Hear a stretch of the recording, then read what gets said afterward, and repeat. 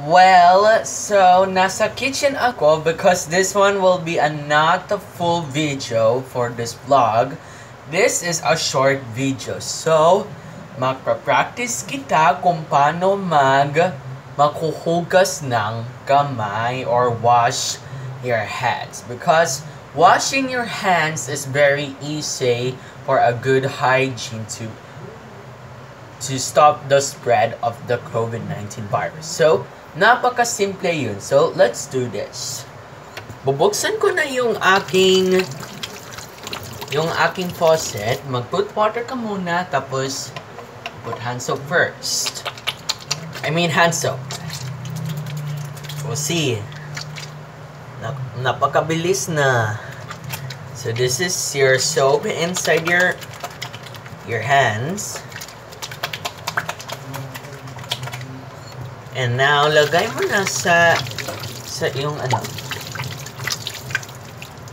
sa tubig niya.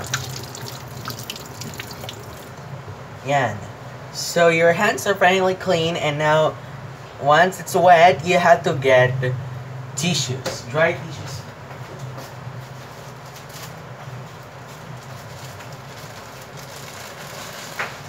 Ito yung tissues natin. Ah, ma'am, nag nagsisimula na lang ako. Yeah, and then mag-recording ng vlog. Nandyan lang si ma'am mga mga goers ha. Ma'am. Right. So, ito na ang mom, mother na maganda. Ay, thank you. Thanks for the offer.